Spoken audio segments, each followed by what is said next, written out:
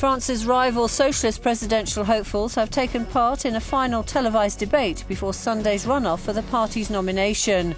Martine Aubry and Francois Hollande scored points off each other, but with no obvious victor.